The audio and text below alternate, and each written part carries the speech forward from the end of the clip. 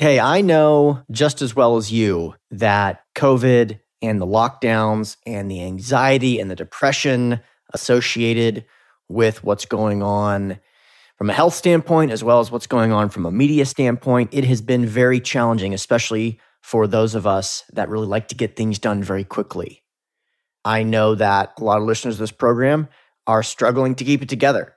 This is especially true if you have a family. This is especially true if your family's been in close proximity for you with you for all these months.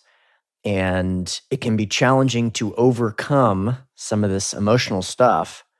And we're looking for ways to keep that productivity high, but constantly being met by bombardment of distraction. And it's totally understandable. So, today we're going to talk about some productivity hacks that can help you. And some of these are very strategic, very tactical. Some of these are big picture things that aren't really hacks. These are just good business practices. And I'll start out with number one, which is you need to have a very clear plan of where you're going. Because if you're going super, super fast in no direction, not useful. If you just go out into the ocean and tear off a direction in a speedboat, not useful for getting to where you're trying to go. So make sure that you have done this exercise, which we talk a lot about in my mentorship program, take 60 to 180 minutes alone away from your office and stream of consciousness write down where you want to be in three years. And so, one of the parts of this exercise that's really powerful is it's not just the things you want to have, but it's what are the vacations you go on? How frequently can you go on those vacations? What do your peers talk to you about? What do they say about you when you're not around? Having that full three hours to kind of contemplate that will give you a good sense of where you want to be in that three year time period. And then from there, it's time to think about what would need to be required to accomplish that goal and then reverse engineer that. And what I mean is, what steps do you need to put in place to put yourself in that position in three years? If the goal is to have $100 million under management in three years, Maybe you're able to purchase $40 million in that last year because you've experienced some growth. Maybe you've been able to purchase 30 million the year before. Maybe you've been able to purchase 30 the year before.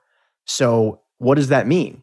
What would you need to do to be able to purchase $30 million worth of real estate? How much would you need to be able to raise? How many investors would you need to have?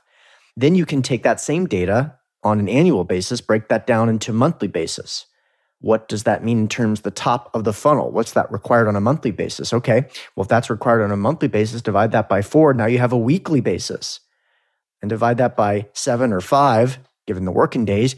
And now you have a daily basis. And this way you can track on a daily, weekly, monthly, quarterly, annual basis how you're tracking towards your goal.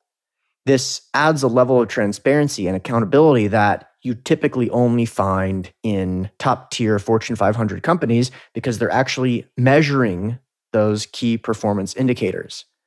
Number two, take breaks. There has been a ton of studies about this topic, and it is very clear from the studies that I've seen, including meta analysis studies about productivity, that the human brain starts to peter out if you're doing something cognitively demanding above 45 to 52 minutes. So, what you can do to kind of hack this is if you set a clock to count up, not down, but up 45 minutes or 52 minutes in the sense that you know that time is coming. And if you want alarm to go off at the end of the time, you can do that as well. But you have to stop then and take a three to five to eight minute break. Now, during that break, it's really important that you do something engaging mentally, but not overstimulating. So social media is a big no no during the breaks. It's not a time to do that. If you want to sit down and do a meditation, totally reasonable. I think the best thing to do is to walk because walking is stimulating enough to keep your mind engaged and to contemplate some of the things you're learning during that really challenging 52 minutes. And it lets it actually sink in your subconscious is engaged at that point. And there's, again, there's data to back this up, but this is also anecdotally why you so frequently hear people have epiphanies in the shower because taking a shower is cognitively demanding enough to keep you engaged. You don't check out completely, but that's when you go, oh my gosh, I never thought of it like that. Or, oh my gosh, that makes so much sense. So just cramming and studying or whatever you're doing trying to learn new topics or do something as quickly as possible, sometimes it doesn't really sink in until you have that moment to take a breath. All right, number three. This is a quick tactical one. It is shocking to find out how frequently, if you hit a little bit of a speed bump or a wall in terms of something that you're trying to figure out, how quickly people glitchingly reach for social media, reach for their phones. And it can take 5, 10, 15 minutes away of actually using the social media, and then another 5, 10, 15 minutes to get back to contemplating what you're trying to understand. So, in the world of real estate, in the world of entrepreneurship, it's very frequent that you have to learn new skills very quickly, and some of the skills are very challenging to learn. So, what happens is you get frustrated, you go, oh, I'm just going to check Facebook real quick. And then, what's on Facebook right now? Just a bunch of insanity. Doesn't matter what you think about any of these important topics. I'm sure that you see crazy posts that make you go crazy. So it ruins that cognitive capacity. So here's the tip turn your Wi Fi off during these 45 to 52 minutes, turn your airplane mode on. And so when you hit that hurdle, if you try to glitch out and reach for Facebook, it's not possible and it doesn't work. And you go, okay, stop doing that. And then you don't reach out and turn the Wi Fi back on. It's very, very powerful. And by the way, when you do this, you'll be shocked to see how frequently you may be glitching out and doing that, reaching for the internet as a way to overcome the fact that you're hitting a bit of a hurdle. All right, number four, especially when you're doing something cognitively demanding, it's very important to learn through multiple senses. Even if you are quote, someone who is an auditory learner, which I am, which is why I have a podcast, you still will get a ton out of getting in sensory data from multiple different senses. So if you're able to read a physical book, that's really powerful. I also really like to underline things in physical books. Just the act of underwriting it slows, underlining it slows it down so that you have to say it out loud in your head a little bit. Then writing it Again, because it slows it down, it makes you learn it in a different sense. Very powerful. Then auditory, of course, and then conversational. So talking, actually you being the one that's saying it. So you're hearing it, you're writing it, you're reading it, you're talking. And then if you want real mastery, teaching.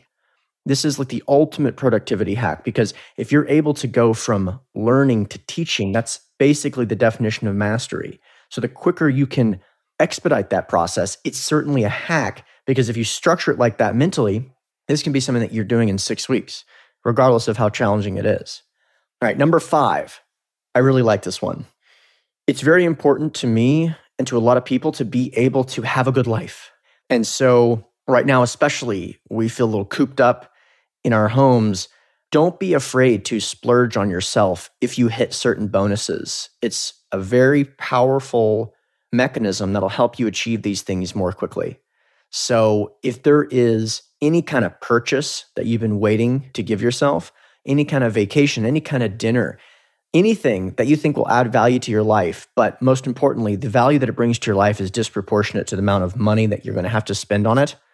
It is so cool to get both good value out of the purchase, but more importantly, being able to work at an expedited rate because you know that that's going to be something you get at the end of the tunnel. And so recently I spent some money on a home gym. Oh my gosh, what a cool accomplishment. One of the best couple thousand dollars I've ever spent.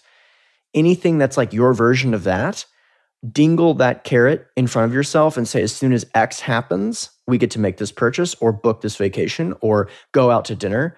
Very, very powerful stuff. All right. Hope you enjoyed that stuff. Good luck to all you speed demons out there.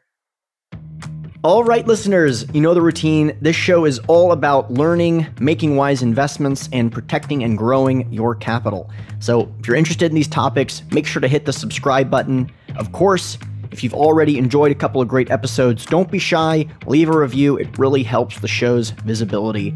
And lastly, if you're an accredited investor and you're interested in learning more about our investment opportunities, the types of deals that I personally invest in, go to asymcapital.com. That's A S Y M capital.com.